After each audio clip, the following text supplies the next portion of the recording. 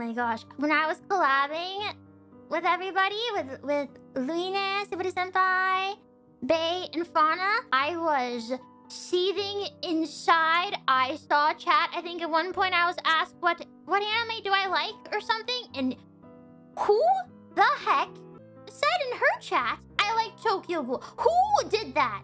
Fauna and Mumei and Hakos, do you like anime? Please recommend me. Mm, I don't want to go first. Please do you like comic? ああなんか好きなの教えてほしい。 Yeah. Please teach me. If you did that, you, I'm angry at you.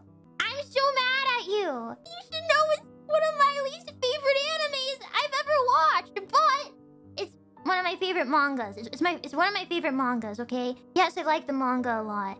Oh my gosh, I was, I saw that and I so badly wanted to say, Chat, stop it! Not my favorite anime. But it wasn't the time. But now is the time. Now is the time to say, I'm mad at you. I wish you didn't do that because it's not true. And I thought I thought you all knew me. I thought you'd know, but you just what? You you embarrassed me.